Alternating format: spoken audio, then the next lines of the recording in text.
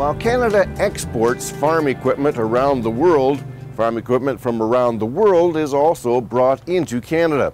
Here at Canada's Farm Progress Show in Regina, one of the innovations on display is an Austrian-built combine header, the BISO Ultralight 800. BISO is a Austrian company, so that's where they manufacture everything and then I bring them over here and sell the headers over here in Canada.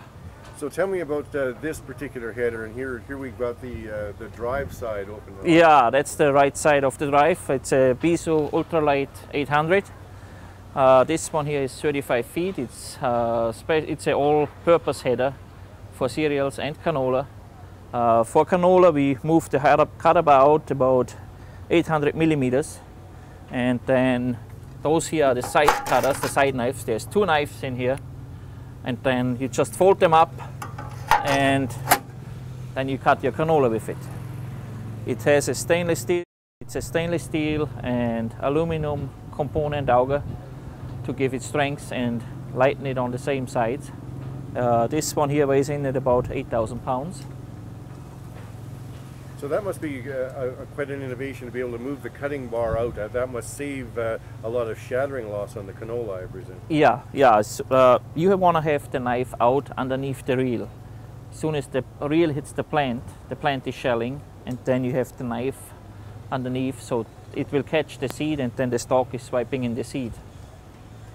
So it's got the, the shears on the end, it's got a a, cutting bar that can be extended. What other adjustments does it come with? Uh, it can adjust, you can adjust the reel time, the pitch from the cab, from inside the cab.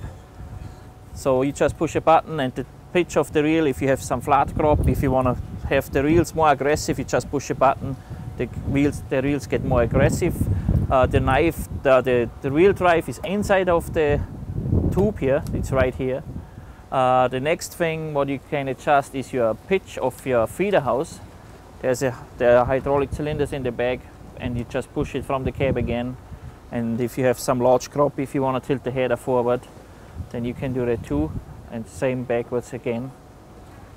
So you make this specifically for makes and models of combines. It doesn't come with adapters. You make it for the combine it's going on. Yeah, that's right. If it goes, you order it for, it, let's say, John Deere combine, that's where it goes on. It's specially ordered for a John Deere. Case and New Holland are the same hookup, so you can interswitch it between the two.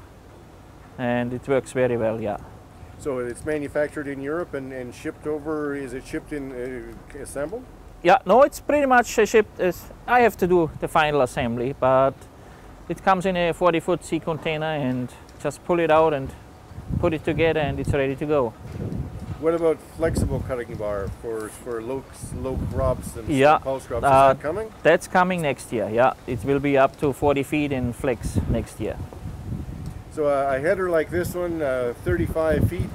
Uh, what uh, what kind of price tag are we looking at? This one here, the way it sits right now, is about 95,000.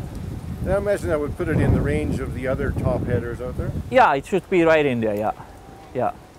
So are you getting pretty good interest, or how, how has uptake been? Yeah, no, it's been good. It's uh, straight cutting canola is coming more and more popular because of canola. The, the breeding goes towards uh, shatter resistant stuff, and it works very well. Yeah.